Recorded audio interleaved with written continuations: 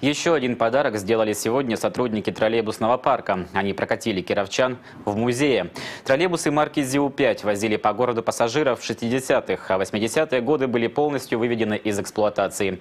Сейчас такие машины музейные экспонаты, но одна из них вернулась на улице Кирова, правда, ненадолго. В День Победы в троллейбусе смогут прокатиться по центральным улицам все кировчане. А сегодня подарок опробовали виновники завтрашнего торжества, ветераны Великой Отечественной войны. В полдень на остановке парк Гагарина ажиотаж. Правда, ждали собравшиеся не маршрутный, а прогулочный транспорт. Сотрудники троллейбусного управления сделали своеобразный подарок кировским ветеранам.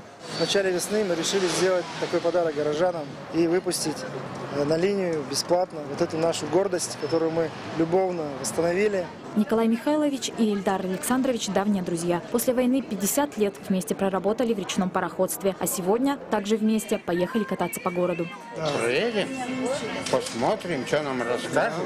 Два представителя горкома партии из Кирова поехали в Питер с письмом с просьбой отправить в Киров э, значит, не работающие и грани троллейбусы. И вот они по этой дороге жизни туда под бомбежками добирались с этим письмом.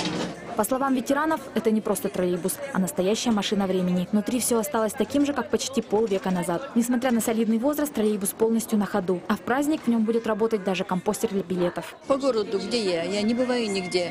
Я забыла, где что находится. Первый рейс троллейбуса в День Победы запланирован на 8 утра. Начнет свое курсирование ретро-машина от остановки Авитек и поедет по центральным улицам Кирова. Проезд для всех бесплатный. Анна Мамаева, Александр Летова, Бюро новостей Давича.